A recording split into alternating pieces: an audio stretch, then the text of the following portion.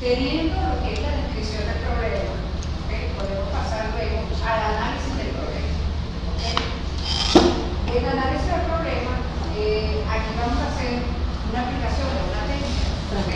que se llama árbol de problema. Para hacer esa técnica necesitamos saber las causas y efectos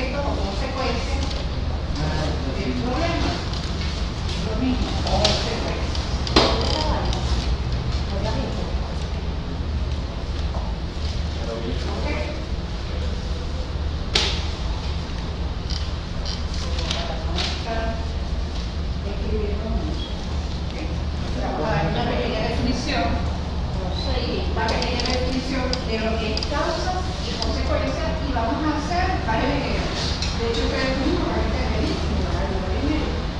Vamos a colocar aquí el significado de lo que es causa. De verdad, cómo, cómo hace para que no me cuenta. Ah, A ver. Es. Pero vamos mal, ¿estás contando? ¿Tú me leyendo, no? ¿Qué pusiste? No me acuerdo. Es más para jugar, ¿verdad? Pero me dijo, te dicho yo.